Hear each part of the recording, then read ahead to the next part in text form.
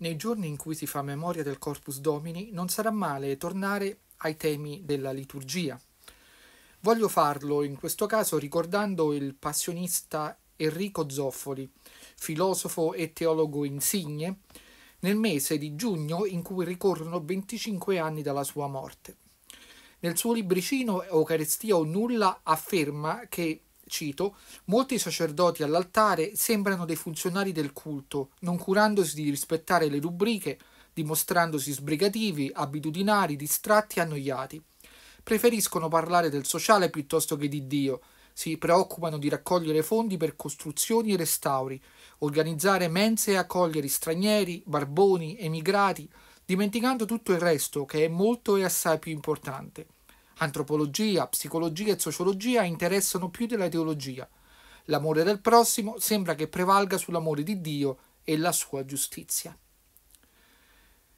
Queste parole di padre Zoffoli, scritte più di 25 anni fa, fanno pensare a cose veramente interessanti, cioè a cosa avrebbe detto se fosse stato vivo oggi, costretto a confrontarsi con la situazione attuale.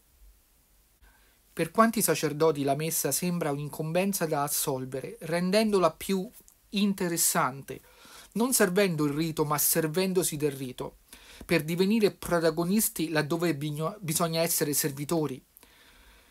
Per superare quella noia di cui parlava padre Zofoli si fa in modo che le liturgie siano simili a spettacoli, con il prete come showman e musiche il più possibile simili a quelle della musica commerciale, così da intrattenere i fedeli, che invece, paradossalmente, veramente sembrano più annoiati che mai e a frotte abbandonano i banchi della chiesa.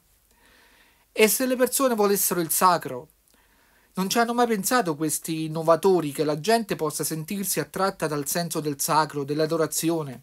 No, non ci vogliono pensare, perché rovina la narrativa a cui hanno aderito, magari dalla loro entrata in seminario. Certo, ci sono alcuni sacerdoti che capiscono tutto questo, capiscono che le rubriche proteggono loro e i fedeli dall'andare fuori dal consentito. Ma mi dispiace dirlo, non sono molti e spesso sono anche avversati.